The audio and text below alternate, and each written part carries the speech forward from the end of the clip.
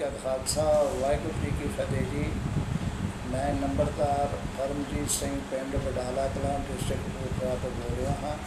ਅਹ ਜੋ ਮੇਰੀ ਸਾਲ ਨਾਲ ਜੋ ਨੰਬਰਦਾਰੀ ਆ, ਇਹ ਜਦੋਂ ਪਹਿਲਾਂ ਗਵਰਨਮੈਂਟ ਨੇ ਸਾਡੇ ਨੰਬਰਦਾਰਾਂ ਦੇ ਉਹ ਜਿਹੜਾ ਲੜਕੇ ਤੋਂ ਖਾਰਜ ਕੀਤੀ ਆ, ਜੇ ਲੜਕਾ ਪੜ੍ਹਿਆ ਲਿਖਿਆ ਜਾਣਕਾਰ ਹੋਵੇ ਤਾਂ ਉਹਨੂੰ ਜ਼ਰੂਰ ਮਿਲਣੀ ਚਾਹੀਦੀ ਹੈ ਜੇ ਪਿੰਡ ਵਾਸੀ ਮਦਦ ਕਰਦੇ ਹੋਣ।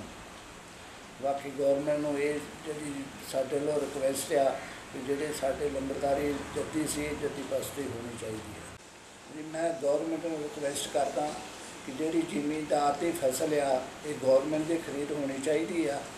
ਜੇਕਰ ਗਵਰਨਮੈਂਟ ਦੀ ਖਰੀਦ ਨਹੀਂ ਹੁੰਦੀ, ਤਾਂ ਇਹ ਜੋ ਕਿਸਾਨ ਆ, ਕਿਸੇ ਦਿਨ ਨੂੰ ਜ਼ੀਰੋ ਹੋ ਜਾਊਗਾ। ਤਾਂ ਬਾਹਰਲਾ ਵਪਾਰੀ ਅੱਧ ਮੁੱਲ ਤੇ ਵੀ ਖਰੀਦ ਨਹੀਂ ਕਰਦਾ।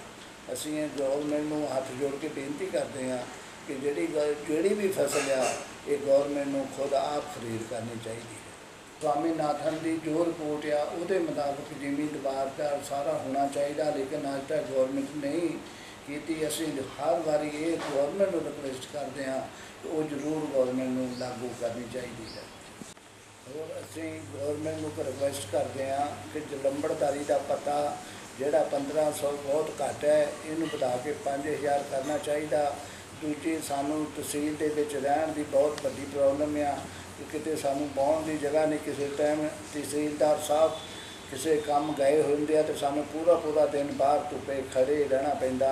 ਇਹ ਅਸੀਂ ਗਵਰਨਮੈਂਟ ਨੂੰ ਰਿਕੁਐਸਟ ਕਰਦੇ ਹਾਂ ਕਿ ਸਾਡੀ ਇਹ ਅਰਦਾ- ਜ਼ਰੂਰ ਬੇਨਤੀ ਸੁਣਨੀ ਚਾਹੀਦੀ ਆ ਔਰ ਸਾਡਾ ਮਾਣ ਪਤਾ ਵਧਾ ਕੇ ਘੱਟੋ ਘੱਟ 5000 ਰੁਪਇਆ ਕਰਨਾ ਚਾਹੀਦਾ ਹੈ।